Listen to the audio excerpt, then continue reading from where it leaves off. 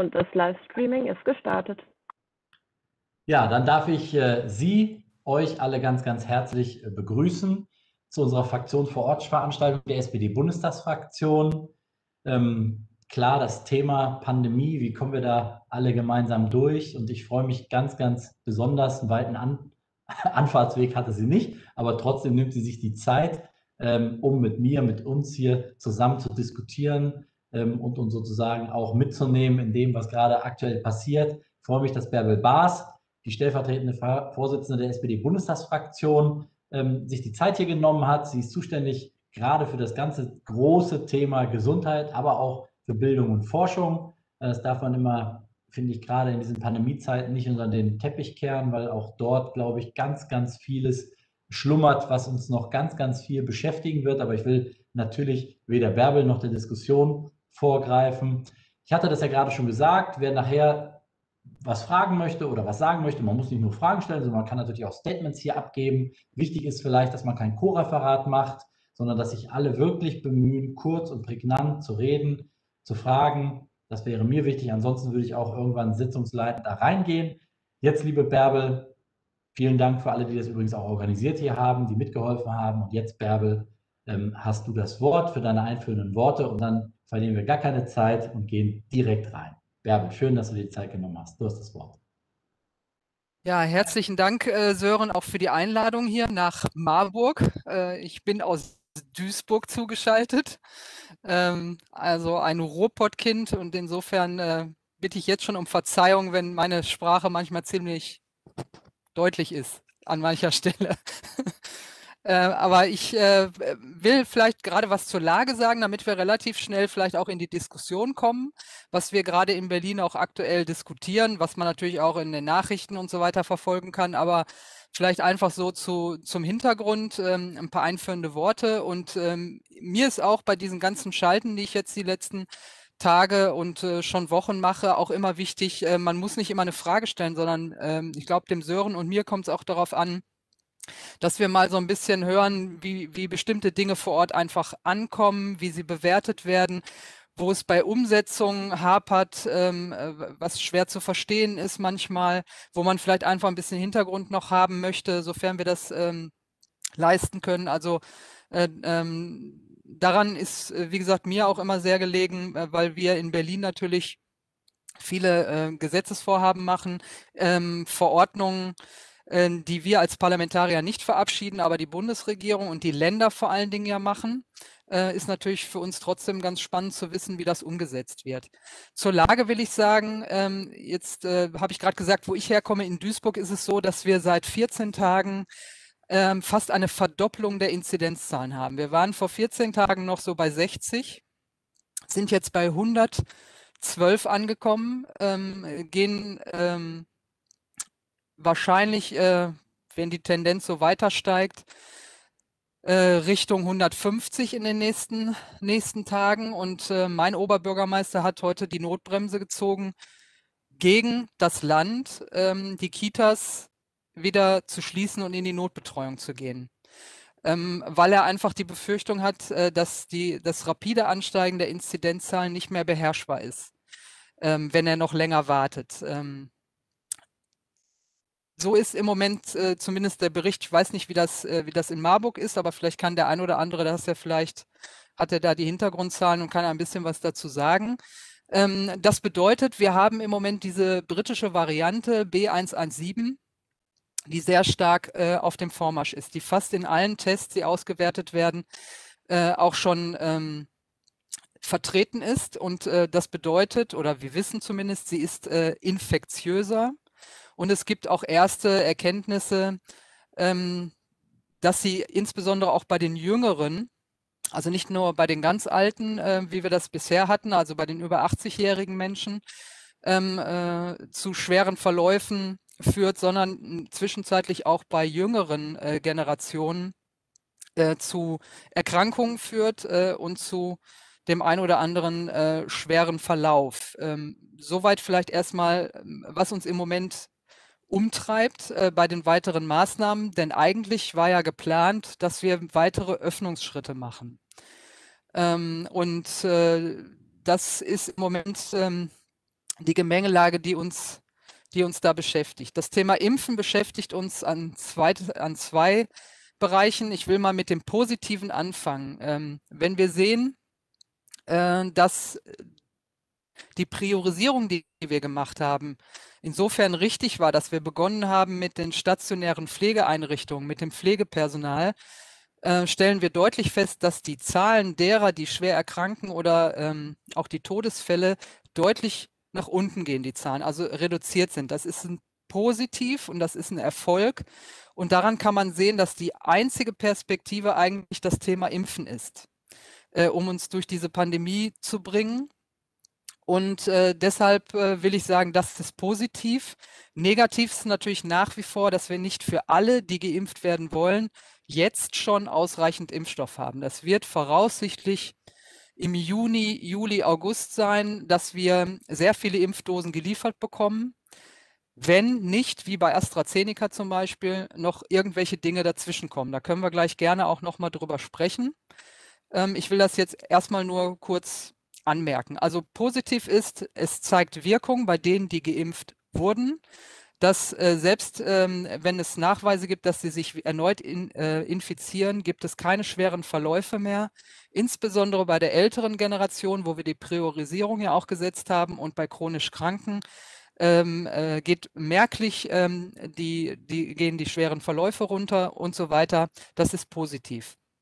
Das Zweite, was wir nach einem Jahr Pandemie haben, wir haben verschiedene Testmöglichkeiten. Wir hatten vor einem Jahr, wer sich erinnert, diese sogenannten PCR-Tests nur, die äh, etwas länger dauern, bis sie ausgewertet sind, äh, sehr zielsicher und genau sind.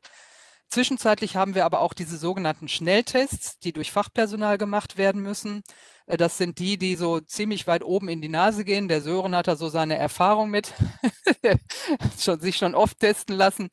Ähm, und die müssen durch Fachpersonal mach, äh, gemacht werden. Wir haben aber zwischenzeitlich auch diese sogenannten Selbst- oder Heimtests. Ich nenne die immer Spuck- oder Popeltests, sagen ja auch viele. Dann weiß man, was damit gemeint ist. Die sind also etwas einfacher, nur vorne im Nasenbereich. Die sind auch recht sicher, aber man muss bei diesen Tests immer wissen, zum einen kommt es auf die Verantwortung des Einzelnen an, wenn er diesen Test zu Hause anwendet, ob er sich dann auch an weitere Maßnahmen hält, falls er positiv ist denn dann muss ein PCR-Test gemacht haben und man sagt, er hält eigentlich nur, ja, ist eine Momentaufnahme, wie man immer so schön sagt. Man geht davon aus, gut so 48 Stunden ähm, könnte man damit äh, durch die Gegend laufen, aber wie gesagt, ist alles mit Vorsicht zu genießen. Die eigentlich wirklich richtige Wirkung ist halt das Impfen. Nichtsdestotrotz, wenn man über Lockerungen oder Lockerungsschritte nachdenkt, äh, spielt natürlich eine Teststrategie eine große Rolle. Insbesondere wenn man sagt, der Bildungsbereich ist uns sehr wichtig und wir wollen Kitas und Schulen aufhalten, weil wir einfach ja auch gesehen haben in diesem Jahr, was es für Kinder und Jugendliche bedeutet, wenn sie nicht in die Schule gehen. Das hat nicht nur was mit Bildungsrückstand zu tun, sondern eben auch mit sozialen Kontakten. Und da sehe ich gerade jemanden, der uns auch zuschaut äh, und äh, da sicherlich auch ein Wörtchen mitreden könnte, wie es ihm geht, wenn er nicht mit seinen äh, Freundinnen und Freunden zusammen sein kann, in die Schule gehen kann. So, und äh, deshalb haben wir auch sehr klar bemängelt, dass als verkündet wurde, wir machen jetzt äh, einen Test, jeder kann sich kostenlos testen lassen, dass daran nicht wirklich eine Strategie hing und dass ähm, die Schulen jetzt geöffnet wurden, obwohl da nicht wirklich getestet wurde. Also nur, es ist von Bundesland zu Bundesland unterschiedlich, aber ich kann das aus NRW sagen, da wurde geöffnet, es gab keine Tests für die Schulen. Niemand hat die Schulen darauf vorbereitet. Äh, so nach dem Motto, es gab eine E-Mail am Freitag und am Montag wurde geöffnet. Ähm, und äh, dann äh, so auf Teufel komm raus, jetzt geht mal wieder in die Schule. Und ich fürchte fast, die Quittung haben wir jetzt, zumindest in Duisburg, ist es so, dass eben die Zahlen wieder über die 100 gehen und eben auch sich zunehmend Kinder infizieren. Jetzt kann man froh sein, dass, dass Kinder äh, wenn sie nicht gerade Vorerkrankungen haben, äh, entweder gar keine Symptome haben oder nur ganz milde. Aber ähm, sie tragen es natürlich äh, über ihre Eltern auch in die anderen Generationen.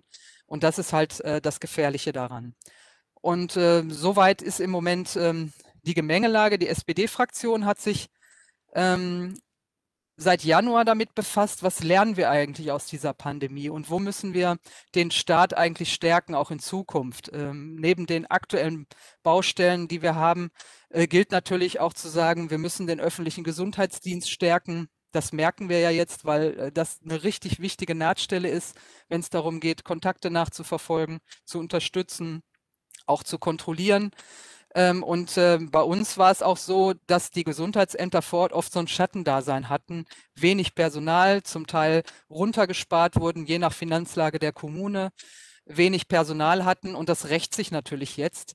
Und auf der anderen Seite gab es kaum gemeinsame Abstimmungen. Deswegen hat die SPD-Bundestagsfraktion auch gesagt, eigentlich braucht es sowas wie ein ähm, Bundesgesundheitsamt, damit äh, die Gesundheitsämter vor Ort äh, einen gemeinsamen Ansprechpartner haben, ein, einheitliche äh, Richtlinien, dass sie sich untereinander fachlich austauschen können. Ähm, das ist, glaube ich, so ein Punkt, wo wir sagen, das brauchen wir auch in Zukunft. Was wir in Zukunft brauchen, ist natürlich auch der Bereich im Gesundheitswesen. Da spielt die Daseinsvorsorge eine große Rolle. Wir haben gesehen, was für eine Belastung auf die Krankenhäuser, auf den, auf den äh, Bereich der Pflege zugekommen sind. Ähm, wir hatten vorher schon ähm, große Notstände im Bereich der Pflege. Das hat sich jetzt noch verschärft. Ähm, und wir diskutieren natürlich auch gerade, wie wir wie wir das mit einer veränderten Gesundheitspolitik verbessern können. Also ich sage mal im Bereich der Pflege natürlich die Forderungen, die schon lange auf dem Tisch liegen. Wie kommen wir zu besseren Tarifverträgen? Äh, wie verbessern wir die Arbeitsbedingungen? Das haben wir alles auch in einem Papier soweit zusammengefasst. Das nennt sich in Solidarität durch die Pandemie. Also das heißt, wir beschäftigen uns nicht nur gesundheitspolitisch damit und als Gesundheitspolitikerin würde ich sagen, bloß alles geschlossen lassen. Aber jetzt gucke ich den Sören mal an. Es gibt eben auch andere Bereiche, wo man sagt, das hat auch alles wirtschaftliche Auswirkungen, psychische Auswirkungen, soziale Auswirkungen. Wenn wir wissen, was Gastronomen, der Kulturbereich gerade seit Monaten geschlossen ist, äh, Existenzen ähm, äh, kaputt gehen, ähm, psychische Schäden entstehen bei den Leuten, die ihre Geschäfte seit langem nicht mehr auf, äh, aufhalten können. Wir haben zwar viel gestützt, auch über Überbrückungshilfen, aber machen wir uns nichts vor, das, ist, das darf kein Dauerzustand sein. Und insofern haben wir eine interdisziplinäre Arbeitsgruppe, so heißt das, wo eben auch die Kollegen aus äh, dem Kulturbereich, Tourismus, ähm, Wirtschaft äh, habe ich gerade schon genannt, äh, Bildung natürlich mit drin sind, weil eben der Bildungsbereich auch eine große Rolle spielt. Ähm, das haben wir jetzt alles zusammengefasst, ähm, weil es eben nicht nur um Gesundheit geht, weil wir eben auch gucken müssen, was das alles für Folgen hat und wir eben auch nicht ewig in diesem Lockdown bleiben können. Auch wenn ich mir im Moment aktuell Sorgen mache aufgrund der gestiegenen Zahlen, müssen wir besser werden in manchen Dingen. Das heißt, Impfstrategie muss besser und schneller werden. Die Teststrategie muss zielgerichtet sein. Ähm, und damit äh, würde ich sagen, habe ich schon so ein paar Themenfelder aufgemacht, äh, jetzt in meinen Vorbemerkungen, die wir sicherlich gleich auch nochmal gemeinsam diskutieren können. Ähm, vielleicht soweit erstmal für die Einleitung von mir an der Stelle. Und jetzt würde ich sagen, Feuer frei, gerne mit Fragen, Anmerkungen, und wie gesagt, auch gerne AstraZeneca. Da hatten wir heute eine Sondersitzung des Gesundheitsausschusses. Wer da nochmal mehr oder genaueres wissen möchte, kann ich dann vielleicht gleich auf Frage nochmal eingehen gerne. Ja, vielen, äh, vielen, vielen Dank, äh, liebe Bärbel. Du hast es jetzt nicht gesehen, weil du natürlich gerade zu uns gesprochen hast. Das ist immer so ein bisschen das Schwierige. Das wäre so, wie wir in einer echten Veranstaltung alle nochmal Zettel schreiben und ähm, äh, stille Post spielen. Im Chat ist schon wieder viel los. Ähm, ich würde es toll finden, wenn wir jetzt sozusagen die ganzen Statements und Fragen im Chat kanalisieren in unsere Debatte. Und da ich weiß, dass es ihm auf den Nägeln brennt und er mir auch schon mehrere Mails geschrieben hat, würde ich mal beginnen. Hermann, Hermann Schorge mit dir dass du sozusagen mal deine Punkte loswerden kannst. Hermann, du hast das Wort. Du musst dich entstummen. Du bist noch stumm. Hermann, du bist noch stumm. Also jetzt bin ich wohl zu verstehen. Ich habe äh, den Sören schon häufiger angeschrieben und zwar, weil ich denke, dass wir von einem ganz eklatanten Regierungsversagen reden müssen seit Oktober. Äh, die Teststrategie beginnt jetzt erst. Das heißt, sie hätte eigentlich beginnen müssen, bevor man die Schulen und die Kitas wieder öffnet. Äh, man hat äh, lange Zeit gedacht, Selbsttests seien nicht sinnvoll, weil, weil im Grunde genommen die Menschen das nicht richtig ausführen.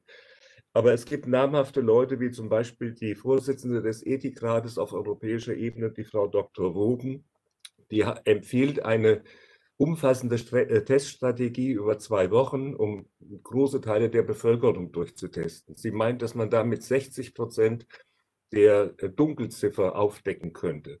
Natürlich müssen die Leute dann in Quarantäne gehen. Und äh, letzter Punkt, ich will nicht zu lange reden, ist die Digitalisierung. Es gibt da diese App Luca, die müsste eigentlich, müssten alle Gesundheitsämter in der gesamten Bundesrepublik Deutschland, die Referentin hat das ja eben schon gesagt, müssten die alle anwenden. Da ist nämlich eine prompte äh, Nachverfolgung möglich, nicht über Fax, nur äh, über Excel-Listen. Vielleicht äh, ja, reicht das erstmal als Statement. Danke. Bärbel, wollen wir ein bisschen sammeln oder möchtest du gleich antworten? Nee, wir können gerne ein bisschen sammeln. Okay, dann hätte ich jetzt noch den, den Pandelis, Chatzif-Genio. So.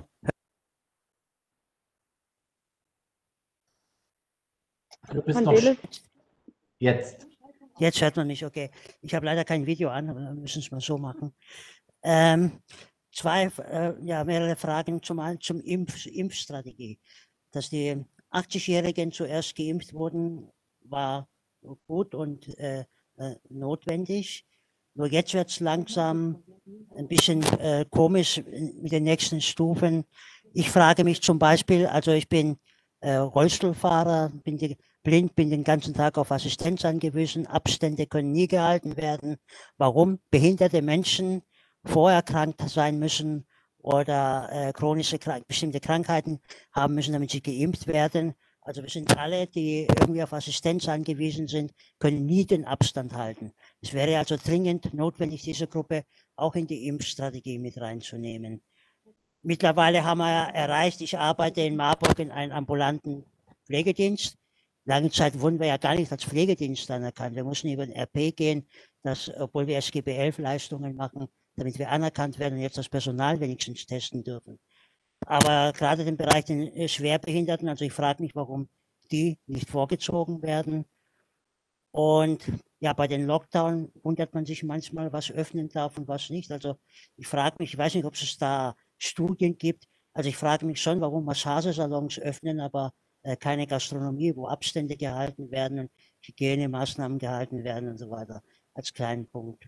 Und ganz am Anfang fand ich, hat man uns auch zu viel Hoffnung, muss ich sagen, gemacht. Im November hieß es, wir machen einen Monat äh, Lockdown laut, äh, light und ab Dezember kann man wieder alles frei. Also haben einige etwas den Mund vollmundig genommen. Also ist ein bisschen durcheinander alles, aber mein Anliegen wäre, gerade behinderte Menschen mit Assistenz, dass die doch etwas früher in die Impfpriorisierung kommen. Ja, vielen Dank. Wir haben noch ganz viele weitere Fragen, aber Bärbel, ich würde dich bitten, vielleicht kurz was zu sagen. Ich nehme jetzt jede Wortmeldung oder jede Meinung im Chat als Wortmeldung. Bärbel. Ja, da, da steckt ja auch schon einiges drin bei den äh, beiden äh, Fragestellern. Ähm, da würde ich gerne darauf reagieren. Also ein komplettes Regierungsversagen würde ich jetzt äh, natürlich erstmal zurückweisen, aber dass viele Fehler passiert sind oder dass man mit vielem nicht zufrieden sind, das teilen wir natürlich genauso oder ich, ich persönlich auch. Regierungsversagen will ich äh, dieses Wort deshalb, äh, das ist ein krasses Wort, will ich deshalb nicht so benutzen, weil wir natürlich auch viel richtig gemacht haben. Ähm, also ich sage mal alleine, dass wir in, in Deutschland im Vergleich zu anderen Ländern immer auch gesehen, ähm, am Anfang sofort mit Wirtschaftshilfen auch äh, geholfen haben, mit Überbrückungshilfen.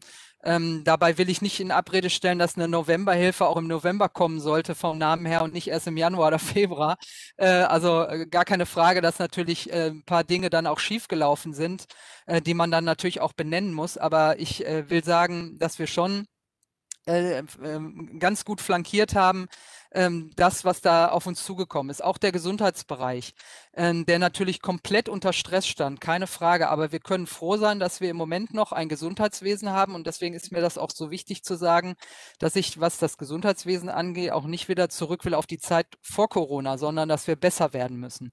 Aber wir haben, äh, wir können zurückgreifen auf ein ganz äh, ähm, weiten niedergelassenen Bereich. Wir haben flächendeckend schon immer noch, Gott sei Dank, viele Krankenhäuser, die uns dabei helfen. Wie gesagt, niedergelassene Ärzte, das haben andere Länder nicht. Also ich vergleiche immer auch so ein bisschen, ähm, äh, wo wir auf jeden Fall auch besser waren als andere Länder eine ganze Zeit lang. Wo wir schlechter sind, das kann man jetzt im Vergleich sehen, das ist das Thema Impfen. Und das ist ja auch gerade schon mit der Impfstrategie angesprochen worden.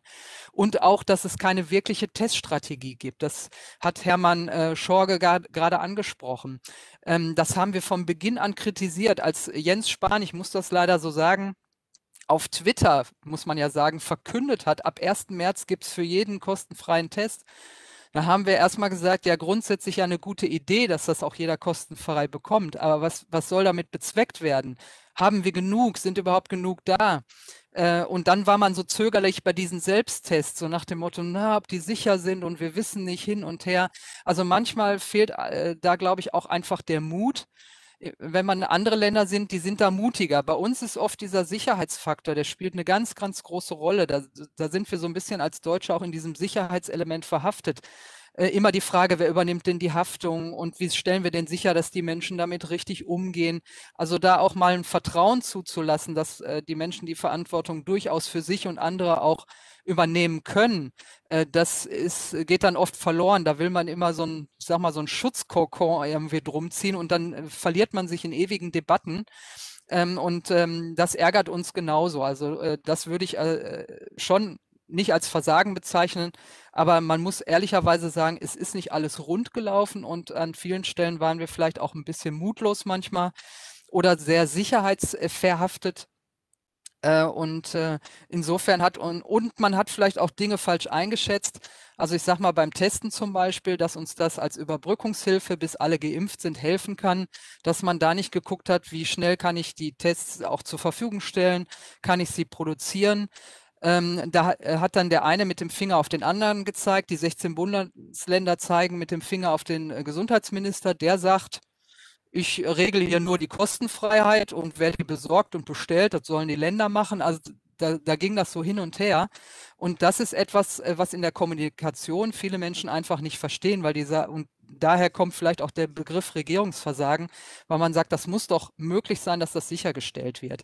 Und ähm, diese Digitalisierung, äh, daran merken wir jetzt so richtig in dieser Pandemie, dass wir eigentlich, wir haben immer gedacht, wir wären so toll in der Digitalisierung, aber wir haben festgestellt, es fehlt an Breitbandausbau. Der Schulbereich hinkt total zurück. Ähm, geschweige denn, dass Lehrerinnen, Lehrer mit äh, und Schulen mit Technik ausgestattet sind. Und als es dann darum ging, ähm, äh, eine Schulcloud zu organisieren und, und das alles zu machen und dass Digitalisierung nicht heißt, ich verschicke per E-Mail ein PDF-Dokument, was die Schüler dann ausfüllen, ähm, ist, glaube ich, auch unter uns einig, dass, das, dass wir das nicht unter Digitalisierung verstehen ähm, dass wir da total zurückhinken. Und jetzt äh, nickt Sören Bartol auch heftig, weil er ja auch in diesem Bereich sehr stark aktiv ist und sich, sich da schon, ähm, weiß ich nicht, die Nächte um die Ohren geschlagen hat, wie wir diese Digitalisierung, Breitbandversorgung und so weiter stark machen. Ähm, das hat so richtig offenbart, äh, wie schlecht wir an der Stelle eigentlich sind. Und äh, diese äh, Luca-App ist ja eigentlich nur eine App, muss man sagen, ähm, die die Zettelwirtschaft in der Gastronomie ähm, verhindern würde. Also dass da jemand Mickey Maus einträgt ähm, und dann nicht im Kontakt nachverfolgt werden kann und dass dann die dicken Ordner mit den ganzen Zetteln bei den Gastronomen irgendwo im Schrank stehen. Ähm, das würde Luca auf jeden Fall besser machen, schneller machen. Und ich könnte mit dieser App, wenn die vernetzt ist mit den Gesundheitsämtern, natürlich auch sofort meine Kontakte informieren, sobald ich positiv bin oder ein anderer, der mit mir zur gleichen Zeit in der Kneipe war, positiv ist. Insofern ist diese App Luca wirklich eine tolle Ergänzung. Ähm, ich weiß, dass Olaf Scholz in diesem Corona-Kabinett jetzt auch den Auftrag gegeben hat, ähm, das zu forcieren und auch zu nutzen. Bedauerlich ist, dass unsere Corona-Warn-App das nicht hergegeben hat, sondern dass wir jetzt ein neues, ein zusätzliches Element brauchen. Ähm, das ist die zweite Baustelle, die ich sag mal, als Tiger gestartet ist, nämlich die Corona-Warn-App und irgendwie als Bettvorleger gelandet ist. Da hat man die mit großem ähm, Schulterklopfen ähm, eingeführt und äh, europaweit gelobt und dann hat man sie nicht wirklich weiterentwickelt. Also auch das ist, äh, da kann man auch sagen, das äh, war ein großer Fehler. Und diese Luca-App wird helfen, wenn wir auch in Zukunft ja Kontaktkonzepte brauchen. Ähm, und wenn dann auch die Gesundheitsämter eine Schnittstelle dafür aufmachen, das würde zum einen die Gesundheitsämter ein Stück weit entlasten und würde eine Kontaktverfolgung äh, auf jeden Fall ähm, einfacher und besser und schneller machen. Ähm, Impfstrategie behinderte Menschen. Ja, da haben wir uns als SPD sehr früh für eingesetzt. Allerdings muss ich auch sagen, dass eine Behinderung ja nicht gleich ein Risiko ist. Äh, sondern deshalb haben wir uns äh, auf, konzentriert auf Menschen, die äh, entweder gesundheitlich Risikofaktoren haben oder eben vom Alter her besonders betroffen sind. Das hat ja die Ständige Impfkommission so ausgewertet, weil es ja wenn ich priorisieren muss, ähm, jetzt äh, nicht um Behinderung an sich geht, sondern die Frage ist, welche Risiko steht dahinter. Deshalb war zum Beispiel die Trisomie 21 recht weit oben in der Priorisierung, äh, weil man äh, festgestellt hat, dass Menschen, die diese ähm, Erkrankung haben oder diesen äh, ähm, ähm, diese Trisomie 21, dass die besonders äh, betroffen sind äh, für einen schweren Verlauf. So, und deshalb äh, will ich sagen, dass wir behinderte Menschen nicht äh, per se irgendwie runter priorisiert haben, sondern dass es in erster Linie ums Risiko ging. Und natürlich ist äh, wichtig, dass äh, Menschen, die eben viele äh, Betreuungskräfte brauchen, dass die jetzt auch in der Priorisierung schnell geimpft werden. Also dafür haben wir uns immer stark gemacht, äh, dass das insbesondere in Einrichtungen passiert. Und bei uns in Duisburg war es so, dass wir mobile Teams hatten, weil natürlich äh, Menschen mit Behinderung, die auch ein Risiko haben, oft nicht in der Lage waren, sage ich mal, ins Impfzentrum zu fahren. Ähm, so, und da haben wir zum, zumindest vor Ort das so gemacht, dass wir dann gesagt haben, das äh, machen wir durch mobile Teams. Und äh, das ist ja etwas, was man vor Ort entscheiden kann, wenn es Risikopatienten gibt äh, und wir einen Impfstoff vor allen Dingen haben, der nicht bei minus 60, 70 Grad gekühlt werden muss, dass man dann mit mobilen Teams eben auch die Menschen anfahren kann. Und deswegen war dieser AstraZeneca-Impfstoff eigentlich äh, ein recht guter, weil der nicht so stark gekühlt werden muss. Ähm, und äh, weil man ähm, da auch mit mobilen Teams äh, in der Priorität das ähm, dann auch durchimpfen kann. Und wie gesagt, bei uns war es so, dass das relativ flexibel gehandhabt wurde. Und diese Priorisierungsgruppen, die sind immer so fließend im Übergang. Ähm, aber ich will einfach sagen, wichtig war uns in erster Linie, wenn man nur wenig Impfstoff hat, erstmal die zu impfen, die wirklich gesundheitlich ein ganz, ganz hohes Risiko haben und vom Alter her ein ganz, ganz hohes Risiko haben. Und die haben wir jetzt äh, zumindest in den stationären Bereichen fast durchgeimpft, kann man so sagen. Und jetzt sind halt die dran, die zu Hause betreut und gepflegt werden und ein hohes Risiko haben. Ähm, und äh, insofern äh, will ich sagen, kommen die dran. Also wir haben es nicht an Schwerbehinderung oder so geknüpft. Oder was heißt, wenn ich sage wir, das ist die ständige Impfkommission, sondern sie hat tatsächlich nach Risiko geguckt. Ja, und zu den Öffnungen habe ich gerade ja schon gesagt, ähm, eine Perspektive dazu entwickeln, da können eben diese Tests helfen. Und wir als SPD haben immer gesagt, ähm, eine Teststrategie, also wenn ich öffnen will, muss da eine Teststrategie hinter sitzen. Oder eben, ich bin geimpft. Das ist die zweite Variante. Ähm, und ähm, Impfen einmal in der Woche reicht nicht. Also wie gesagt, wenn ich Schulen und Kindergärten und so weiter offen halten will, dann reicht nicht, wenn ich einmal in der Woche irgendeinen Test mache. Dann muss das regelmäßig passieren. Und wenn ich halt nicht so viele Tests habe, dann muss ich eben auch da die Priorität setzen, dass die Tests dann in erster Linie erstmal in den Bildungsbereich, also in Kitas und Schulen gehen, wenn ich den aufhalten will. Äh, und dann kann ich, wenn ich äh, ausreichend Tests habe, überlegen, was mache ich mit meinetwegen Museen, Kulturveranstaltungen. Und ich glaub, äh, glaube, Gastronomie, das wissen fast alle, das wird sicherlich der Bereich sein, der möglicherweise erst zuletzt wieder geöffnet wird, weil da kann ich halt, wenn ich esse und trinke, ehrlicherweise keine Maske tragen. Ich kann zwar einen Abstand gewisser, aber alles, was in geschlossenen Räumen stattfindet, wo ich keine Maske trage, weil ich da esse und trinke, das ist eine Schwierigkeit. Worüber man jetzt diskutieren kann, ist, wenn das Wetter besser wird, ob man wieder die Möglichkeit gibt, Außengastronomie aufzumachen. wo du an der frischen Luft bist, auf Deutsch gesagt, wo man Abstand halten kann, wo man unter, äh, an der frischen Luft ist. Ähm, oder wenn man sagt, äh, es gibt Lüftungsanlagen und so weiter. Also wir haben ja viele Möglichkeiten. Äh, und was äh, uns eben als Sozialdemokraten stört, ist, dass da zu wenig drüber nachgedacht wird. Es wird nur drüber nachgedacht, was machen wir zu, wie lange halten wir es zu, wir gucken starr auf die Inzidenzwerte und man ähm, diskutiert viel zu wenig, welche Möglichkeiten habe ich eigentlich über Lüftungsgeräte, über Tests. Wir haben so viele Möglichkeiten, die man nutzen kann, die werden einfach nicht weitreichend gedacht.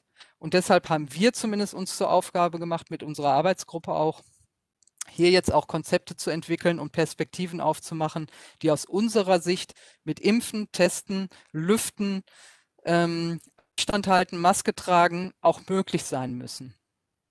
Allerdings nicht alles auf einmal aufmachen, sondern schrittweise. Das will ich auch immer sagen, denn es geht auch darum, wie mobil die Menschen sind, wie viele Übertragungsmöglichkeiten ich auf dem Weg zur Kneipe habe, nämlich indem ich Bus und Bahn fahre, vielen Menschen begegne, ähm, äh, Kontaktmöglichkeiten ähm, habe. Das ist für ein Virus einfach schön, wenn einfach viele Menschen zusammenkommen. Ähm, dann hat er insbesondere mit der Mari Variante B117 jetzt auch noch schönere Möglichkeiten und schnellere sich zu verbreiten. Und deshalb muss man da aufpassen. Ich bin aber der festen Überzeugung, es muss diese Perspektiven geben. Wir müssen das, was wir haben, an Digitalisierung, Lüftungsgeräten, Tests einfach besser nutzen als bisher. Denn es ist ja unverständlich, dass wir nach einem Jahr, wo wir diese Möglichkeiten ja auch zwischenzeitlich entwickelt haben, wo wir so viele Wissenschaftlerinnen und Wissenschaftler haben, die auch tolle neue Dinge entwickeln, die dabei helfen können, dass auch wieder geöffnet werden kann, warum wir die nicht nutzen. Äh, und äh, wir haben jetzt auch einen Unterausschuss beim Gesundheitsausschuss gebildet. Der wird jetzt in der nächsten Sitzungswoche eingesetzt. Äh, auch der wird sich damit befassen, ähm, weil ja auch immer die Frage war, machen das nur die Länder, Ministerpräsidenten alleine? Nein, wir haben jetzt auch einen Unterausschuss gebildet, wo genau diese Bereiche Wirtschaft, Bildung, Familie ähm, als Facharbeitsgruppen äh, und Abgeordnete auch in diesem Unterausschuss sitzen. Und da soll es insbesondere darum gehen, ähm, wie ich genau diese Möglichkeiten, die wir jetzt haben, besser nutze, um Öffnungsperspektiven zu geben. Ich hoffe, ich habe so. Ja, danke, danke, danke, Bärbel. Wir haben jetzt ganz viele Wortmeldungen, deswegen würde ich jetzt ein paar mehr noch dran nehmen, damit auch wirklich alle am Ende drankommen. Ich habe erstmal die Familie Mündel. Dann, ich lese mal kurz vor, damit jeder sich schon mal vorbereiten kann, äh, die Frau Andreev. Dann habe ich den Gerd Nienhaus. Also, jetzt die Familie Mündel. Hallo erstmal die Runde. Ähm, ich arbeite ja selbst im Krankenhaus und mir geht es wirklich um die Impfung, dass es jetzt ausgesetzt wird. Viele meiner Kollegen haben die erste Impfung von AstraZeneca jetzt bekommen und wir fragen uns, warum nicht andere Lösungen gefunden werden, wie Gerinnungstests zu machen vorher, um nicht so voreilig zu reagieren, weil gerade die, wie wir, die mit Krebspatienten jeden Tag in Kontakt sind, wir können uns zwar mit FFP2-Maske schützen, aber es ist so anstrengend und es ist körperlich so belastend. Und da würde ich einfach gerne mal fragen, ob man da hätte nicht eine andere Lösung erstmal finden können.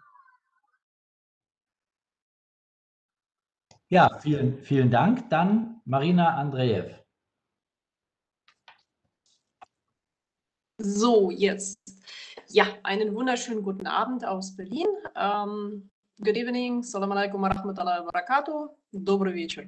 Ich habe mal eine Frage ähm, an Sie, Herr Bartol, und an Sie, Frau Bass. Ähm, ba Bass oder Bass? Bass. Ähm, wir reden jetzt hier die ganze Zeit von Lockerung. Äh, wir reden die ganze Zeit hier von Aufmachen. Ähm, was mich allerdings mal interessieren würde, das Thema ähm, Impfmanagement muss besser werden, damit schneller geimpft werden kann wir haben keine Struktur hier in Deutschland. Also ich sehe nichts, ähm, wo ich als Startup sagen kann, ich kann mich daraufhin verlassen. Ich sehe nichts, was ich, ähm, wo ich sagen kann, ähm, ich kann jetzt vielleicht mal mit einer Reise planen. Ja, also ich muss zum Beispiel als Startup bald nach Belarus, ja, also nach Weißrussland. Und ähm, ich weiß nicht, ob ich da jetzt einen Flug buchen soll oder nicht, oder ob ich an der Grenze aufgehalten werde, weil man mir sagt, pandemiebedingt können Sie entweder nicht ausreisen oder einreisen. Ja, also vielleicht können Sie da als ähm, SPD-Bundestagsfraktion etwas dazu beitragen, ähm, dass man endlich mal eine militärische Struktur reinbringt, damit man ja, Menschen wie in Herrn Larisch zum Beispiel gestern ähm, aus der Veranstaltung ähm, einfach helfen kann. Ja, weil ich meine, Ärzte sind auch nur Menschen und die, und die können nur so weit ähm, ja, eine Impfung verpassen, ähm, wie da hilfreich die Regierung sein wird. Danke Ihnen. Ah, dann jetzt Gerd Nienhaus.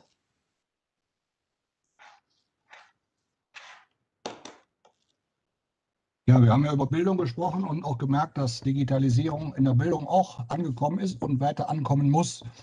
Ähm, da war auch der Digitalpakt 1 mit Annex 1 bis 3 sehr hilfreich, auch wenn es in Hessen sehr lange gedauert hat. Der Sören weiß es, ähm, bis das Land Hessen teilweise die Dinge dann runtergebrochen hat auf die Kommunen, auf die Schulträger.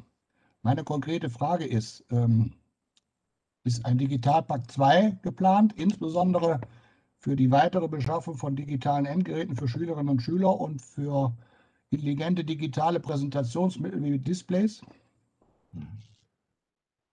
Klare, klare Frage. Ich würde aber trotzdem sagen, wir schaffen noch eine Frage. Und zwar ist das die Frage von Henry Spradau.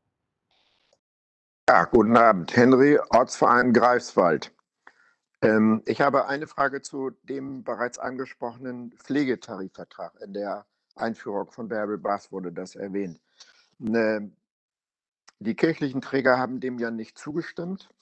Die Argumente, die ich gehört habe, waren ja einmal, dass äh, die Befürchtung war, dass ähm, die Arbeitsbedingungen sozusagen abgesenkt werden könnten, weil die kirchlichen Träger zum Teil günstigere Arbeitsbedingungen, günstige Vergütung haben als andere. Und zum anderen, dass nicht gesichert war, dass die äh, Vergütung auch in vollem Umfang in die Verabredungen nach SGB 11 einbezogen würden. Beides hätte man nach meiner Auffassung vorher äh, klären oder im Verhandlungsprozess klären können, weil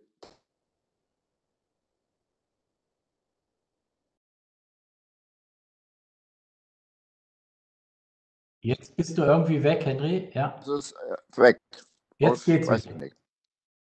Das habe ich nicht gesehen, wann ich weg war. Also die Frage richtet sich auf den Tarifvertrag. Hätte man das nicht bewirken können, dass einmal klargestellt würde, dass die äh, günstigeren Regelungen auch anerkannt werden können, oberhalb der äh, Allgemeinverbindlichkeitserklärung, der geplanten Allgemeinverbindlichkeitserklärung. Und hätte man das SGB 11 nicht so ändern können und auch müssen, dass in vollem Umfang tarifvertragliche Abmachungen einbezogen werden in die Pflegevereinbarung. Danke. Ja, vielen Dank. Bevor die Bärbel Baas jetzt äh, antwortet, nur damit keiner nervös wird, ich habe danach gleich zwei weitere Wortmeldungen, Karin Ackermann-Vollner und Klaus-Peter Schmidt, aber ich würde jetzt trotzdem erst Bärbel Baas bitten, kurze Antworten, weil ansonsten haben alle die Fragen vergessen. Übrigens, wenn ich zu lang antworte, so muss mich auch bremsen, weil ich kann über diese Themen tagelang sprechen. äh, aber ich äh, will vielleicht äh, von oben anfangen. AstraZeneca, zweite Impfung, hätte man das nicht anders machen können. Ähm, ich, ich, will das vielleicht nochmal erklären, ähm, worum es jetzt gerade geht, warum äh, gestoppt worden ist. Ähm, wir haben Erkenntnisse oder nicht wir, ich sage mal wir, aber ich fühle mich da schon immer vereinnahmt, aber das, äh, wir haben äh, ja ein Impfmanagement, wo das Paul-Ehrlich-Institut ähm, bei jeder Impfung, die gemacht wird, eine Meldung bekommt und prüft, ob zum Beispiel neue Nebenwirkungen auftreten. Und wir haben insbesondere in der Altersgruppe der 20- bis 50-Jährigen, insbesondere Frauen, muss ich dazu sagen, weil es war heute auch noch mal im Gesundheitsausschuss ein Thema, ähm, sogenannte jetzt muss ich mal den Fachbegriff, ich bin keine Medizinerin, aber ich habe es mir auch aufgeschrieben, Sinusvenenthrombosen bekommen. Das sind nicht diese Beinthrombosen, die man so äh, landläufig kennt. Und im Moment wird ja dieser Vergleich mit der Pille immer herangezogen. Äh, als Frau finde ich ja gut, dass jetzt endlich auch mal alle mitkriegen, was für ein Risiko Frauen eingehen, wenn sie die Pille nehmen. Aber das, der Vergleich hinkt ein bisschen. Diese Sinusvenenthrombose äh, oder Hirnvenenthrombose ähm, ist schwer zu behandeln. Die ist sehr gefährlich.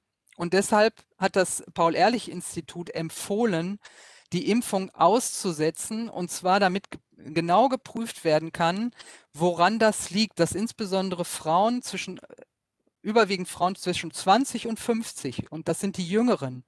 Und nicht die Älteren, die jetzt mit AstraZeneca geimpft werden, interessanterweise haben das Problem.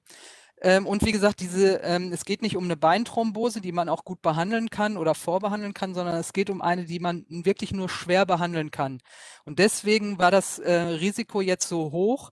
Und äh, dieser Stopp, der wird jetzt nicht über Wochen gehen, sondern es handelt sich jetzt um ein paar Tage. Wir werden ähm, morgen entscheidet die EMA, die guckt sich auch die Daten nochmal an, ob das zum Beispiel auch in anderen Ländern aufgetreten ist. Wir haben heute gehört, dass es in Norwegen extrem aufgetreten ist und wir noch nicht genau wissen, warum. Ähm, und äh, Impfen, das ist ein großes Vertrauensproblem, weil wir impfen gesunde Menschen. Und wenn neue Nebenwirkungen bei neuen Impfstoffen auftreten, haben, deswegen haben wir dieses Sicherheitsmanagement mit dem Paul-Ehrlich-Institut eingeführt. Ähm, und der Stopp ist jetzt nur aus Sicherheitsgründen passiert, dass man einmal nochmal auf die Daten guckt.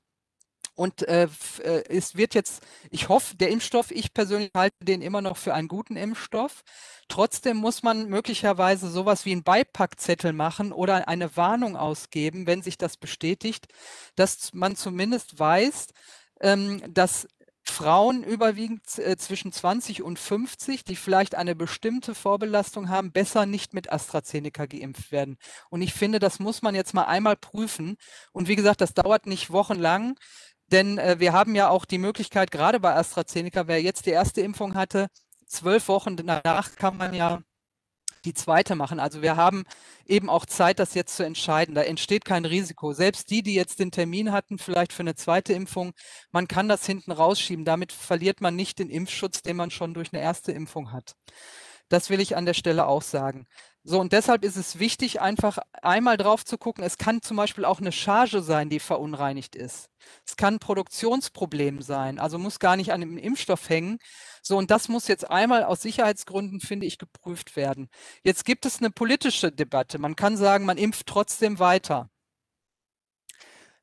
ganz ehrlich, die Verantwortung möchte ich politisch nicht tragen. Und das kann man so machen. Aber wenn, ich sag mal, der umgekehrte Fall wäre passiert, das Paul-Ehrlich-Institut hätte empfohlen zu stoppen und der Gesundheitsminister hätte gesagt, ich impfe einfach weiter. Ne, die paar, die da an so einer Hirnvenenthrombose versterben, mein Gott, 0,000, was da alles für Zahlen in der Öffentlichkeit rumgeistern. Ich möchte äh, nicht erleben, sag ich mal, die Person, die es trifft, ob die das auch so als statistischen Minimalwert sieht. Deshalb finde ich, innerhalb von einer Woche kann man, glaube ich, das jetzt prüfen und dann wird es wahrscheinlich so sein, äh, je nachdem, wie die Entscheidung morgen auch der EMA ist. Wenn die EMA zum Beispiel entscheidet, es, ähm, AstraZeneca behält die Zulassung, es ist weiterhin ein guter Impfstoff. Wir müssen aber eine Impfaufklärung machen, die, die weiter geimpft, äh, wenn wir weiter impfen müssen, zumindest die Personen äh, zu diesem Risiko gewarnt werden oder kriegen einen Beipackzettel oder einen Infozettel und können sich dann entscheiden, ob sie sich trotzdem impfen lassen oder nicht. Ich finde, das ist ähm, schon ein richtiger Weg. Und deshalb muss man jetzt keine Angst haben, dass man die zweite Impfung nicht erhält. Es ist übrigens so bei der zweiten Impfung, dass wir im Moment auch sagen, sollte AstraZeneca zum Beispiel die Zulassung verlieren, wovon ich nicht ausgehe, aber es könnte ja theoretisch alles passieren, äh, dann wird natürlich im Moment schon geprüft, dass man die zweite Impfung kann man auch mit einem anderen Impfstoff machen. Es gibt schon Studien aus anderen Ländern, wo die äh, zum Beispiel gesagt, man kann dann auch mit BioNTech die zweite Impfung machen. Das ist überhaupt kein Problem. Also insofern muss man keine Angst haben, dass man die zweite Impfung nicht bekommt. Ähm, äh, und wir werden, äh, es gibt jetzt auch äh, natürlich die, die jetzt den Termin schon hatten und der kurzfristig abgesagt wurde, die werden natürlich informiert, sobald es wieder losgeht. Und dann werden die Impfungen auch eingehalten. Also insofern kann ich hoffentlich die Sorge ein bisschen nehmen. Aber es ist wichtig, dass man einmal prüft, was dahinter steckt. Ist es eine Verunreinigung? Ist die Produktion irgendwo schiefgelaufen? Ist es etwas, was man tatsächlich als, Risiko, als minimales Risiko ansehen kann? Äh, oder muss man vielleicht auf bestimmte Personengruppen, die vielleicht eine bestimmte Vorerkrankung hatten oder die hatten vielleicht ein bestimmtes Medikament, alle sieben, die da plötzlich ähm, und zwei davon oder drei äh, verstorben sind, hatten die zum Beispiel, ist jetzt nur ein Beispiel, irgendeinen Blutdrucksenker, alle den gleichen und das passt miteinander nicht zusammen. So, und ich finde, das muss man einmal mal kontrollieren.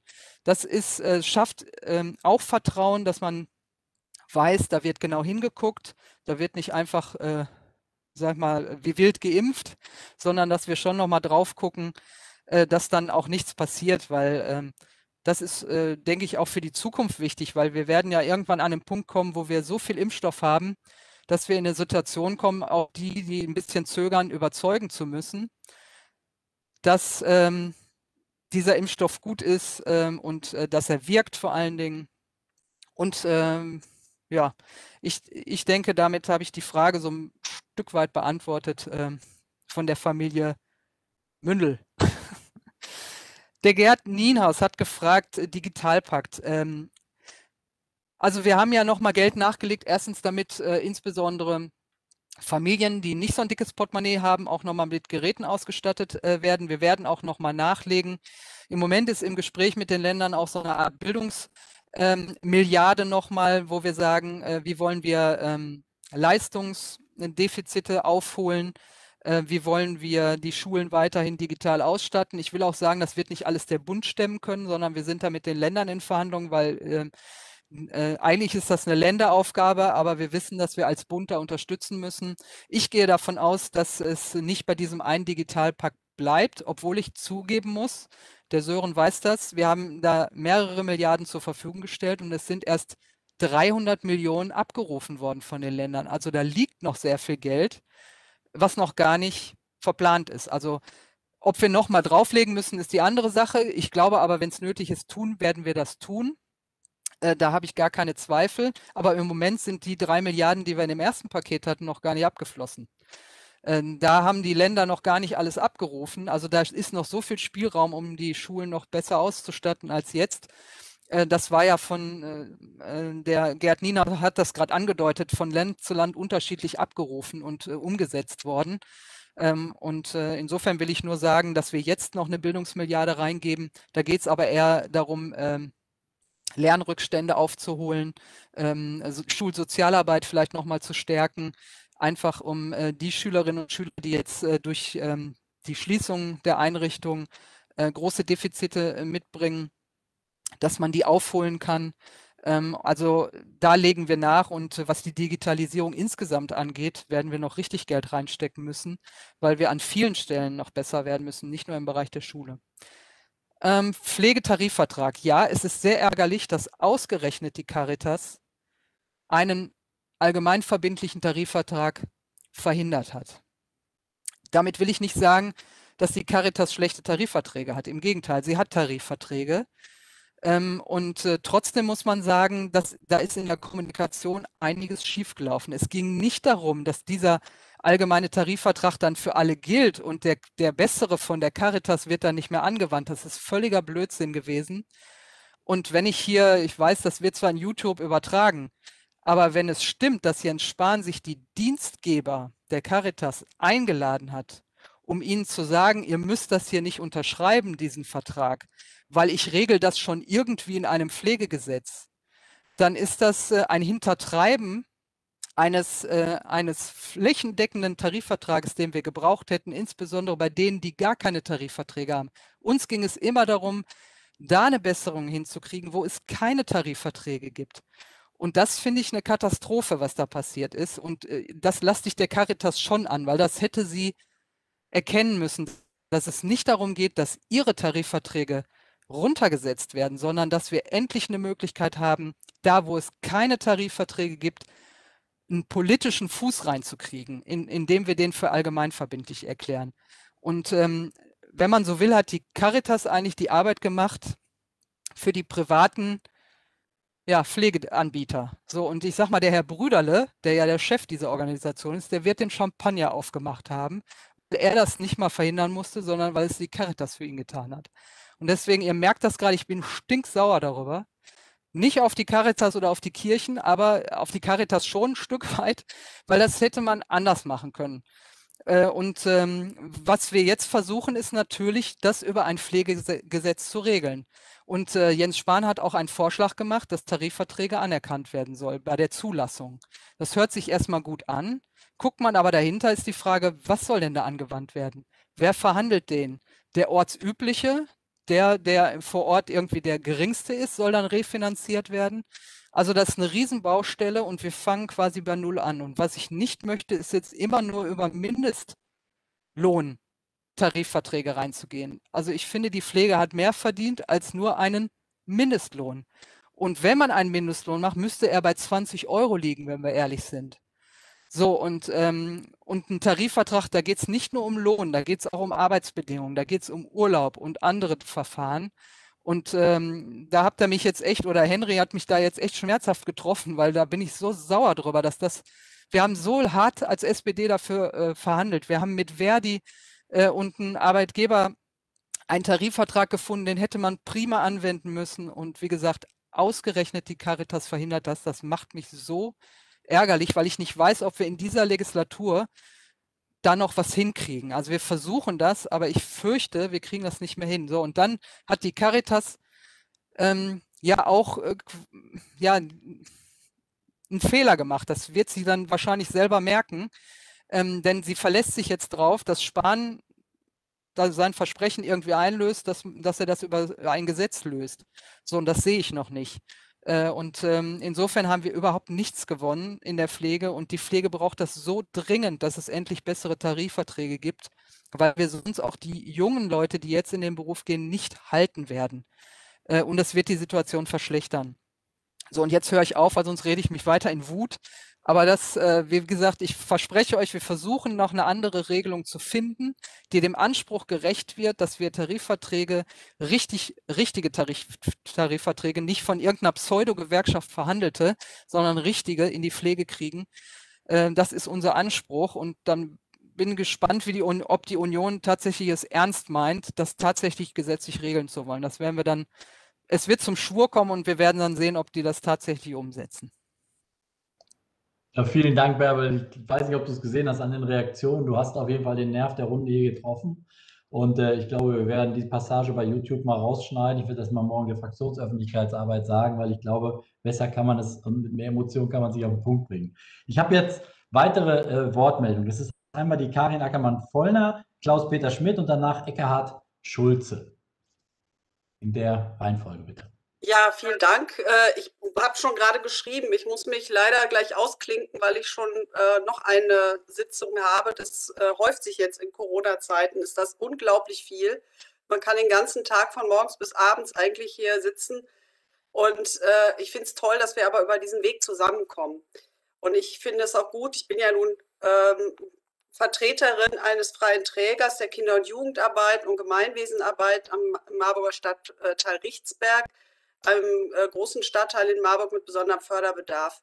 Und ähm, also, äh, was wir so feststellen, ganz kurz gefasst, ist wirklich, dass in der Bevölkerung, ich habe es auch im Chat schon versucht schnell anzuschreiben, äh, große Verwirrung in der Bevölkerung besteht und äh, also was jetzt geht und was nicht geht, ein Hin und Her, vorwärts, rückwärts, seitwärts ran und für den einen gilt das eine und für den anderen das andere. Äh, es, wir können das den Menschen eigentlich überhaupt nicht mehr logisch vermitteln, weil wir es selbst von der Logik her ja eigentlich gar nicht nachvollziehen können, weil es da keine Logik gibt in dem Ganzen. Ähm, wichtig ist das ähm, für die nicht deutschsprachige äh, Bevölkerung. Ähm, da stellen wir halt immer wieder fest, dass sie auch sehr beeinflusst sind von ihren Heimatsendern, also auch was die russischsprachige Community vor allem anbelangt, aber auch die arabische, also die russische äh, wenn ich mit denen spreche, da kommen unglaubliche Vorstellungen ähm, bezüglich des, äh, des Impfstoffes und des Impfens und des Verhaltens damit, des, Umgang, des Umgangs damit. Ähm, es gibt auch ein großes Misstrauen ähm, in vielen dieser Bevölkerungsgruppen gegenüber staatlichen Hilfen, äh, weil man einfach von der Heimat her gewöhnt ist, dass man dem Staat grundsätzlich misstrauen muss. Und ähm, das ist einfach etwas, äh, wir müssen sehen, wie wir an diese Menschen kommen. Also im Einzelgespräch geht das, äh, in großen Gruppen äh, funktioniert das nicht, digital sind sie oft nicht drauf. Ähm, ist eine schwere Zeit, in, mit den Menschen in Kontakt zu kommen, aber wir müssen unbedingt diese Gruppen mit aufklären. Ähm, grundsätzlich, ich bin jetzt gerade äh, momentan in den letzten drei Tagen in diesem Be in Berlin stattfindenden ähm, Kongress Armut und Gesundheit. Der findet ja nun schon seit vielen, vielen Jahren statt. Und es ist eigentlich immer noch schlimm, dass wir äh, nicht keine Verbesserungen in den 20 Jahren des Wohlfahrtsstaates feststellen konnten. Ähm, Und ähm, wir, dort ist auch festgestellt worden, das will ich nur mal hier reintragen, dass eigentlich die Gesundheit als ein wirkliches Grundbürgerrecht verstanden werden muss bei uns. So wie das zum Beispiel auch in Südkorea äh, oder, oder Neuseeland ist. Ähm, äh, da ist einfach ähm, die Ansiedlung äh, dieses Themas ganz weit oben.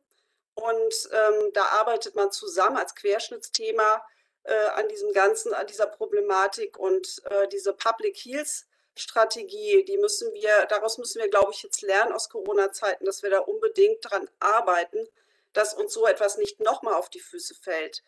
Ähm, das hat ja auch, ich würde mal sagen, ein, äh, die, die Welt äh, schüttelt den Kopf über uns und es ist nicht mehr das, was wir der, der Menschheit in, in Bezug auf ähm, den fortschrittlichen demokratischen Westen äh, ähm, oder Demokratien weitervermitteln können, das ist unglaubwürdig inzwischen. Also wir verspielen da auch an ganz anderer Stelle was, auch in Bezug auf äh, Europafreundlichkeit. Äh, all diese Dinge stehen, also das sind einfach, ich, ich weiß, das sind jetzt global, also größere Schritte, aber ähm, wir müssen ja auch gucken, wie kommen wir da jetzt raus. Ich habe jetzt ein bisschen einen Sprung gemacht. Ähm, was habe ich noch gesagt? Ähm, ja, wichtig finde ich eigentlich auch, dass wir, ähm, da haben wir auch ein Papier dazu verfasst, ähm, auch an die Politik äh, bei uns hier, dass die Jugendarbeit zum Beispiel ähm, unbedingt wieder stattfinden muss. Auch die offene Jugendarbeit, das geht nicht nur um Schule. Und selbst wenn Schule äh, nicht vollständig im Präsenzunterricht stattfinden kann, sondern im Hybridverfahren und Hybridunterricht, bleibt den Jugendlichen unendlich viel Zeit, die sie irgendwo rumplempern, ähm, wo sie auch ähm, Blödsinn machen, sag ich mal. Äh, da fallen sie dann wieder der, der, dem Ordnungsamt und der Ordnungsmacht auf äh, die Füße. Das wollen wir ja auch nicht. Und da muss es unbedingt etwas geben. Also wir haben unser Haus abgeschlossen und wenn wir die Tür aufmachen, stehen da echt die Jugendlichen und wollen uns sehen. Und ähm, da brauchen wir finanzierte Spucktests täglich. Wir brauchen sie täglich und für eine Familie, die äh, meinetwegen drei Kinder hat und das öfter einsetzen muss, den kann man keinen Spucktest noch nicht mal für drei Euro, äh, wie die Frau Giffey ja jetzt letztens angekündigt hat, ähm, äh, zur Verfügung stellen. Das muss wirklich kostenfrei sein, sonst kommen wir da nicht in die Puschen und wir verlieren diese Generation mehr und mehr. So, das lag mir jetzt auf dem Herzen. Das musste ich jetzt alles schnell loswerden, weil ich mich ja dann auch leider dann verabschieden muss. Und äh, ich wollte das mit in die Runde geben. Ich kann leider Ihre Antwort, Frau Baas, jetzt gar nicht mehr hören und die Diskussion. Aber ich glaube, das ist bei Ihnen allen gut aufgehoben. Und auch dir, Sören, danke für die Einladung und einen schönen Abend noch. Und ich denke, ich höre, was daraus geworden ist. Das werden wir merken. danke. Tschüss. Ja, tschüss und vielen, vielen Dank für die auch klaren und offenen Worte weil gerade die offene Jugendarbeit, wir alle wissen ja, wie wichtig sie ist. Also insofern sind die Worte auf jeden Fall angekommen. Danke und eine gute weitere Tschüss. Veranstaltung. Tschüss. Dann habe ich jetzt als nächsten auf meiner Liste Klaus-Peter Schmidt. Ja, die Runde. Ich komme aus dem Ortsverein Mülheim am Main. Bin Beschäftigter des Paul-Ehrlich-Institutes. Bin da, naja, nicht mehr ganz so in der Materie drin, da ich in der Funktion als stellvertretender HPR-Vorsitzender vom BMG ziemlich weit am Puls der Zeit bin. Und im Moment sind ja wieder die Haushaltsverhandlungen und da kann ich sagen, äh, mich wundert, dass das RKI so gut gearbeitet hat und so gut funktioniert hat. Wir sind seit Jahren in den Geschäftsbereichsbehörden personell auf Kante genäht. Äh, zum Jahrtausendwechsel hatten wir 20 Jahre lang jedes Jahr eine 1,5-prozentige Einsparungspflicht. Also es ist traurig, aber ich kann eigentlich sagen, in solchen Krisen, da haben wir hinterher immer Personal gekriegt. Vorher waren wir der Einsparposten. Also das kann auch so nicht weitergehen, weil irgendwann knallt es mal so, dass überhaupt nichts mehr da ist. Also da müsst ihr im Bundestag wirklich mal ein bisschen über euren Schatten springen und nicht nur Sicherheitsbehörden äh, die Waffen tragen, entsprechend Stellen geben, wie es auch schon war, sondern äh, Graz RKI, Paul-Ehrlich-Institut oder das BFAM, das sind auch Sicherheitsbehörden. Das zeigt sich jetzt. Vielen Dank. Danke für den für diesen Aspekt. Jetzt hat Eckhard Schulze sich gemeldet. Ja, vielen Dank. Schönen guten Abend. Ähm, ich komme hier aus Marburg und habe eine ganz konkrete, ganz konkrete Frage, Herr Bartol. Marburg. Bürgermeisterwahl, Stichwahl steht an in zwei Wochen. Ich verstehe nicht, dass es äh, nicht für mich wenigstens sichtbar eine Teststrategie hier in Marburg-Biedenkopf gibt. Ich weiß nicht, wo kann man äh, sich informieren, dass man einen Test bekommt, einen Schnelltest. Also ich weiß zwar, dass ich am Testzentrum eins einen bekommen kann.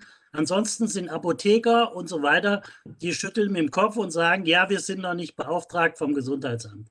Ich hätte eine ganz konkrete, keine großpolitische Frage oder äh, Bitte. Endlich mal konkrete Zahlen zu sagen, wie viele Tests gibt es? Kann jeder zweimal in der Woche ab, ab 1. März, nein, ab äh, 15. März kann jeder sich testen lassen. Warum oder wann fangen endlich die Tests für die Schülerinnen an? Für mich ist es unverständlich, dass wir Schüler wieder zu Hause lassen müssen, obwohl ich also aus der Schule heraus bin. Aber mit einer zweimal in der Woche durchzuführenden Test sehe ich eine große Chance, dass genau dieser Bereich, der ja immer wieder in der Diskussion steht, dass dieses Thema endlich mal und bitte fangen Sie in Marburg wegen mir an. Das muss nicht in der Bundesrepublik gleich überall sein, sondern vielleicht einfach mal in Marburg ganz konkret, weil das geht mir, also mir geht es ziemlich auf den Nerven. Ich äh, habe heute eine schwangere Tochter besucht und war heute Morgen im Testzentrum, habe mich testen lassen. Wo ist das Problem? Das Problem ist, dass man überhaupt nicht weiß, wie viel Tests, wo gibt es die, wo kann ich die machen und da eine Strategie aufzusetzen. Und da kann ich Ihnen nur, also ich hoffe nur, dass Ihr äh, Parteifreund, Herr Dr. Spieß, in den letzten zehn Tagen, die er noch hat, bevor er womöglich dann nicht mehr OB ist, dass die Chance nutzt, da nochmal was zu tun. Weil das finde ich also unverständlich, weil wir lesen überall, es gibt Tests, aber ehrlich gesagt ist mir nicht klar, wie viele Tests gibt es denn? Gibt es welche zu kaufen? Gibt es welche, äh, ja, ich weiß es nicht. Also das als konkrete bitte einfach mal nicht bundesweit, sondern mal nur für Marburg, Stadt Marburg, ähm, da was zu tun. Und zwar eigentlich nur kommunikativ. Ja, das äh, habe ich, hab ich verstanden, auf jeden Fall. Ich meine, Herr Schulze, ähm, natürlich soll Thomas Spieß das auch nach der Stichwahl weitermachen, weil er dafür wirklich hervorragend geeignet ist weil er nicht nur, weil er Arzt ist, sondern weil er das auch organisatorisch gut hinkriegt. Dafür kämpfen wir. Das ist aber jetzt nicht Thema der heutigen Veranstaltung, weil wir ja keine, keine Oberbürgermeisterwahlveranstaltung haben, sondern weil wir uns ja hier sozusagen, und deswegen ist es auch wichtig, dass Sie das auch so dezidiert ansprechen, mit den Fragen, wie geht das mit der Teststrategie weiter? Und ja, das hat die Kollegin Baas ja auch gesagt, wir haben keine wirkliche Teststrategie, sondern wir haben sozusagen den Versuch, die Löcher, die wir vorfinden, jetzt Stück für Stück inhaltlich zu füllen. Und ich kann das sagen, weil heute äh, aus welchen Gründen auch immer, irgendwie mein gesamtes Berliner Büro versucht hat, äh, Schnelltests zu machen. Äh, die einen waren erfolgreich, die anderen nicht. Die einen haben in der Apotheke A nichts bekommen, in der Apotheke B, das sprach sich dann per Flurfunk rum, gab es dann nochmal einen Schnelltest. Also insofern ist das eine unbefriedigende Situation. Ich glaube, das war auch das, was meine Kollegin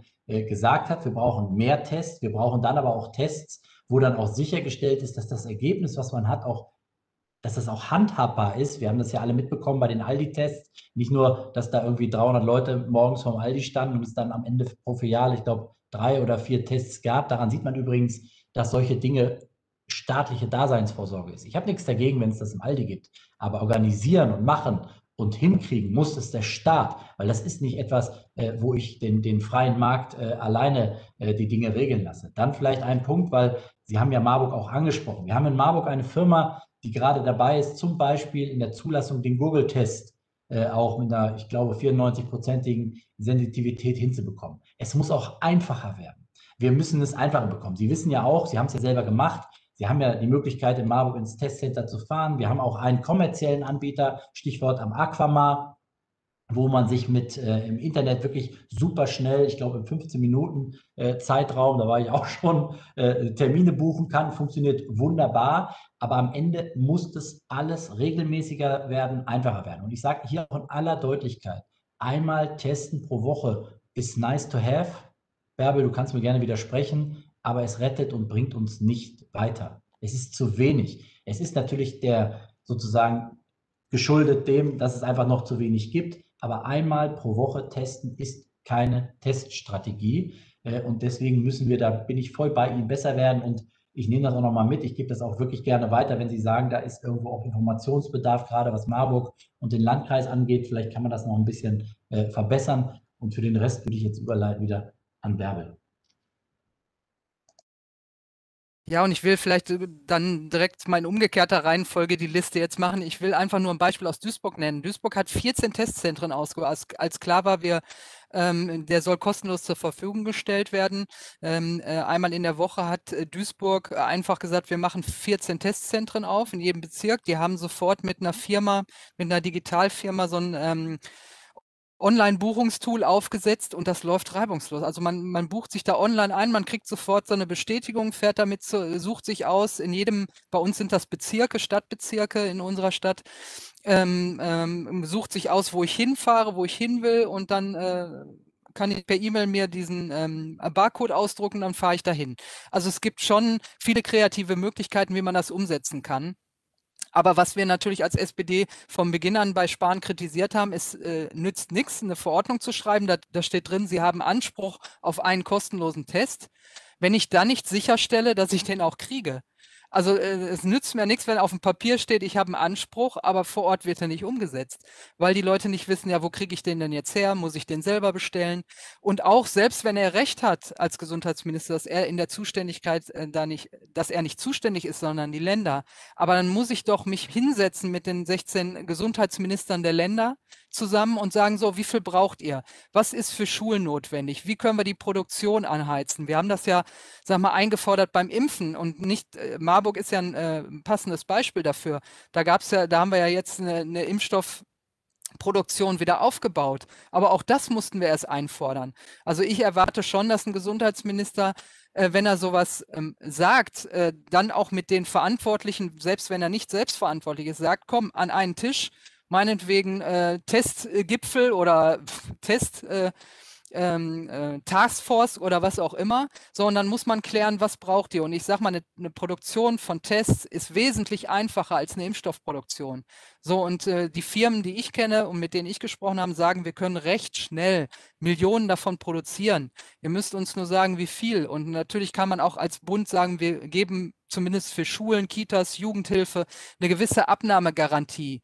Ne? Also äh, das kann man alles machen, man Rahmenverträge, das ist alles möglich und deshalb finde ich, muss man die Kritik auch mal an die richtige Stelle wenden. Also wir haben das wirklich angemahnt und dann ist uns vorgeworfen worden, das ist alles Wahlkampfgetöse. Ja, kann man, ne, klar, haben, sind wir auch irgendwann jetzt im Bundestagswahlkampf.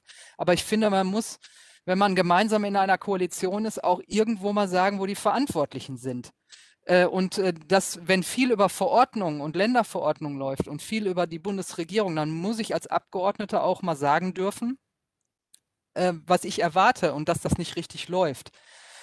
Und deshalb, es gibt gute Beispiele, wie andere Städte es schon machen. Und ich hoffe, Marburg, da gehe ich von aus, ich, ich kenne ja, kenn ja den Kollegen, der ja jetzt in die Stichwahl ähm, geht, auch ganz gut. Also da äh, kann man Möglichkeiten finden, wie man Testzentren aufbaut, einfach um äh, auf einer Homepage dann der Stadt auch informiert, wo, wie komme ich da dran. Also ähm, ich hoffe, das wird jetzt auch relativ zügig umgesetzt. Ähm, und da gehe ich von aus, dass das in Marburg auch passieren wird.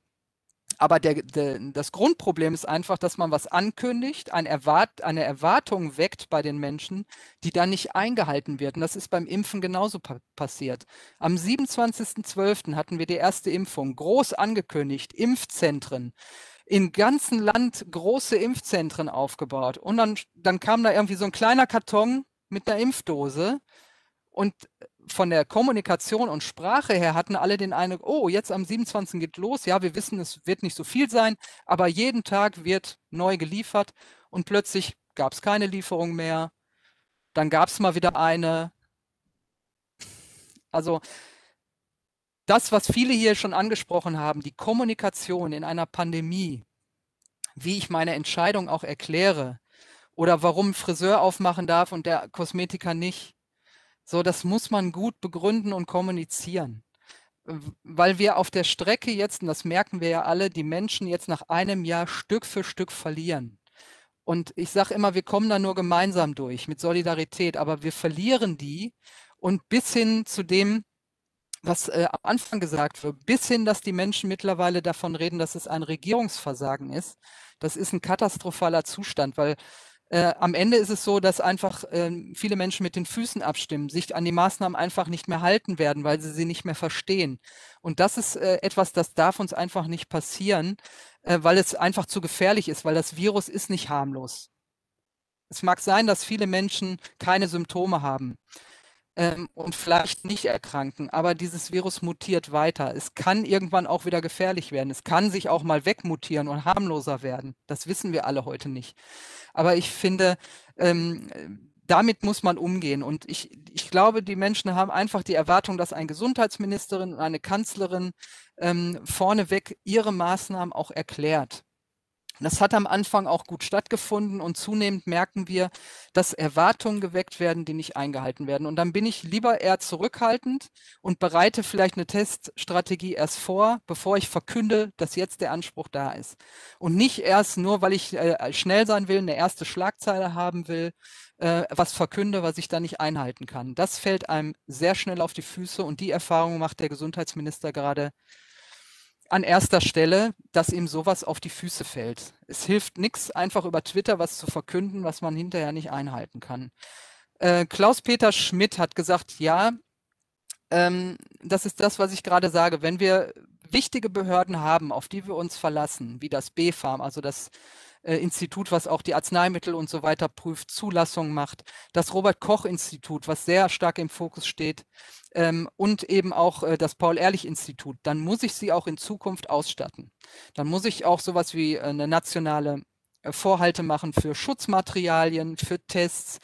Ähm, vorhin habe ich im Chat kurz ist aufgeflackert, wenn wir wieder die Apotheke der Welt äh, werden wollen, müssen wir Produktionsstätten hier sichern, in Europa sichern. Wir müssen gucken, dass ein Wirkstoffhersteller, dass es in der Welt nicht nur noch einen gibt, sondern dass wir mindestens zwei oder drei Standbeine haben.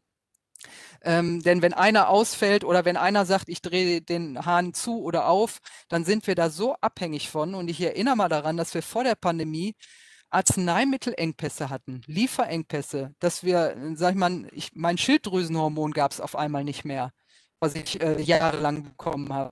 Da will ich mal dran erinnern, das haben viele schon wieder vergessen. Ähm, so, und das liegt daran, weil wir, ähm, äh, weil viel ausgelagert wurde, äh, weil ähm, die sogenannten Generika, also die, wo die Patente frei sind, die sogenannten Nachahmerprodukte halt in anderen Ländern, in Indien, Asien, in China äh, produziert werden. Und wenn ich da nur noch einen habe und die Produktion fällt aus oder der sagt, ich mache das nicht mehr, dann äh, haben wir nichts mehr. Dann fehlt ein wichtiger Wirkstoff. Ähm, und ähm, daraus muss man lernen. Das ist dieser Public Health Ansatz, dass wir sagen, bestimmte Bereiche daraus, die müssen wir jetzt stärken, nicht nur für diese Pandemie, sondern auch für die Zukunft. Das gehört, muss zur Daseinsvorsorge gehören. Und was den Gesundheitsbereich angeht, da muss man auch sagen, das haben wir sehr auf Wirtschaftlichkeit, Ökonomisierung getrimmt. Ne? Das war so dieses Mantra, das muss alles wirtschaftlich sein. So, und was haben wir jetzt davon? Die Pflege wurde kaputt gespart. Äh, äh ich sag mal, Bereiche wie Geriatrie, psychische ähm, ähm, Belastungen, die, die sind eher unwirtschaftlich, werden nicht mehr gemacht. So, das gehört aber alles äh, zu einer Rehabilitation, fällt oft weg. So, und das sind Dinge, die, ähm, die wir jetzt aufbauen müssen oder zumindest da, wo es sie noch existiert, auch behalten müssen. Wir müssen Renditen begrenzen, wo wir können, müssen wir kommunale Häuser, wo es sie noch gibt, auch unterstützen. Und wenn es uns sogar gelingt, Dinge wieder zurückzukaufen, wo ich eher natürlich auch frage, ich will da nicht zu viel versprechen, aber wir müssen das im Blick haben, denn es wird nach der Pandemie eine Diskussion geben und deshalb macht es schon einen Unterschied, ob ich SPD bin oder nicht. Ähm, es wird eine Diskussion geben nach der Pandemie. Ne? Äh, was brauchen wir alles wieder nicht mehr? Ne? Also vorhin ist ja angesprochen worden, dann wird das Personal wieder abgebaut, brauchen wir jetzt nicht mehr, läuft ja alles wieder. So, und das darf uns nicht passieren. Und deswegen ähm, haben wir jetzt auch diesen Ansatz, die Daseinsvorsorge klar zu definieren, die Bereiche zu stärken, die wir brauchen äh, die Ökonomisierung nach Möglichkeit zurückzudrängen, da wo es jetzt schon geht äh, und für die Zukunft. Und wie gesagt, das, die Renditen zumindest bei denen, die in privater Hand sind, so zu begrenzen oder sie zu zwingen, dass sie Gewinne auch wieder in die Häuser, in die Gesundheitsversorgung investieren. Zumindest große Teile davon. Also das ist der Ansatz, den wir, den wir brauchen. Ähm, und wie gesagt, das haben wir auch alles schon formuliert, aber ich finde, das muss man, muss man jetzt auch äh, nach vorne bringen und das wird den Unterschied auch machen bei einer Wahlentscheidung am Ende, äh, weil wir hören ja jetzt schon von der Union, das muss alles wieder zurückgedrängt werden, das ist alles viel zu viel äh, und schon gar keine Steuern erheben, das wird ja alles noch blockieren, aber natürlich muss das auch finanziert werden ähm, und deshalb ist das äh, für uns ein ganz, äh, ganz wichtiger Punkt. Und äh, die Karin Ackermann-Vollner, da will ich nur kurz drauf an, sie hat das angesprochen. Sie hat sehr, sehr stark äh, das auch nochmal beschrieben, wie wichtig das ist. Äh, und dass wir die Jugendhilfe nicht vergessen. Und das hängt eng damit zusammen, dass wir jetzt auch sagen, wenn wir eine Teststrategie haben, dann muss äh, insbesondere die Jugendhilfe, wir brauchen eine Kommunikation auch für Menschen mit Migrations- äh, Hintergrund oder äh, Zuwanderungsgeschichte, die vielleicht vieles so nicht verstehen. Ich komme aus Duisburg. Wir haben ein großes ähm, äh, große Schwierigkeit, die, ähm, äh, die Rumänen und Bulgaren, die in unserer Stadt leben, aufzuklären, was das Thema Pandemie angeht, dass sie die Maske tragen, weil wir erreichen sie auch nur an ihren Plätzen. Wir machen das, indem wir die aufsuchen, in der Tat. Ähm, und die haben natürlich ähm, Probleme, den Staat anzuerkennen, weil, weil sie oft auch diskriminiert worden sind in ihren Heimatländern von staatlichen Behörden und Einrichtungen. So, und die haben auch zum Teil Angst, wenn jemand mit einer Uniform mit, vom Ordnungsamt auf sie zukommt, um ihnen, sag ich mal, zu helfen, dann äh, meinen die schon gleich, sie werden wieder verhaftet. Aber wir brauchen auch diese Menschen, um diese Pandemie zu bekämpfen. Und deswegen fand ich das, was Karin Ackermann-Vollner gesagt hat, äh, ganz wichtig, wir müssen gucken, dass wir da auch Aufklärung, auch in der Landessprache, dass wir da Leute finden, die von denen respektiert und anerkannt werden. Das hört sich jetzt alles blöd an, aber für die Pandemie ist das wichtig einfach, dass wir an die rankommen. Und wir machen das, wie gesagt, in Duisburg, indem wir einfach diese, diese Communities, die wir kennen, aufsuchen, mit Leuten da reingehen, die die Sprache sprechen, die, ähm, die da auch aufklären können, äh, erklären können, warum das hier so läuft, wie es läuft. Und das funktioniert dann auch ganz gut, muss ich ehrlicherweise sagen. Aber es ist aufwendig und man muss es machen. Wenn man es nicht macht, geht man in ein hohes Risiko. Bärbel, du siehst an den Reaktionen äh, hier in, in, im, im, Chat, aber auch in, äh, in den, äh, bei den Daumen hoch und dem Klatschen, diese wunderbaren Funktionen, die WebEx äh, so bietet, dass du den Nerv getroffen hast. Ich fand, das war ein wirklich ganz hervorragendes Schlusswort, weil es einfach nochmal zusammengefasst hat, worum es geht, wenn man gemeinsam in Solidarität durch eine Pandemie kommen will und warum es einfach nicht egal ist, äh, wo man am Ende auch sein Kreuz macht und wohin es sozusagen auch geht, wenn man die Lehren aus dieser Pandemie auch zieht. Und vieles von dem, was wir ja jetzt auch als Mangel erleben, hat ja auch Ursachen. Und du hast das gerade wunderbar auch angesprochen, ähm, dass das eben auch unterschiedliche politische Vorstellungen sind, wohin dieses Land geht. Es ist eben nicht so, wie viele sagen, alle in einen Sack, alles ist gleich, ihr, ihr unterscheidet euch doch gar nicht, sondern ganz im Gegenteil. Hier sieht man die klaren Unterschiede, das ganze Thema Daseinsvorsorge, der stark, der starke Staat, weil nämlich ein äh, schwachen Staat können sich dann auch nur diejenigen leisten, die genug Geld haben. Das sind alles Themen, die, glaube ich, jetzt auch gerade in Richtung Bundestagswahlkampf einfach rausgearbeitet werden müssen von uns auch als SPD, um auch deutlich zu machen, das ist es, worum es geht, äh, wenn im September äh, alle wieder, dann auch die, die jetzt bei der Kommunalwahl hier gewählt haben, alle wieder an die Wahlurnen hoffentlich strömen, ähm, um ihr Kreuz zu machen. In diesem Sinne bedanke ich mich wirklich bei allen, die hier teilgenommen haben, die mitdiskutiert haben, sei es im Chat, äh, sei sozusagen dann natürlich auch hier in echt. Und Bärbel, dir nochmal vielen Dank, dass du dir die Zeit genommen hast, dass du auch so geradeaus wunderbar Currywurst ne, äh, dann auch äh, geredet hast. Und äh, das war wirklich ganz, ganz toll. Ganz viele Informationen haben wir alle bekommen. Auch ich lerne dann immer noch ein Stück wieder dazu äh, aus anderen Fachbereichen. Und ich wünsche jetzt allen einen wunderbaren und schönen Abend und danke, dass Sie, dass ihr gekommen seid. Auf Wiedersehen und Tschüss zusammen.